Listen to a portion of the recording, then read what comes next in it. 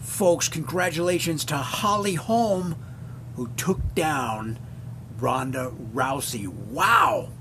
Who saw that coming?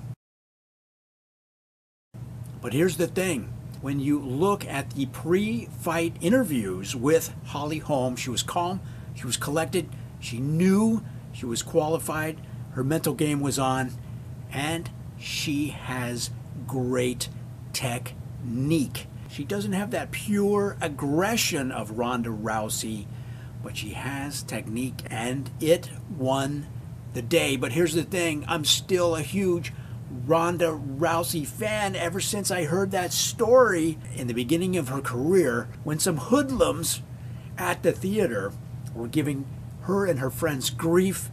A girl behind her put her feet up on the side of Ronda Rousey's head at the theater, and uh, basically they were harassing her and her friends all night. What happened?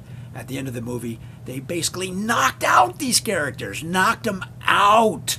Hello, that's the kind of person I need protecting me. But Ronda Rousey is half my age. Is there any women my age fighting UFC right now? Tell them to give me a call. Congratulations, Holly, and don't forget to comment, like, and subscribe.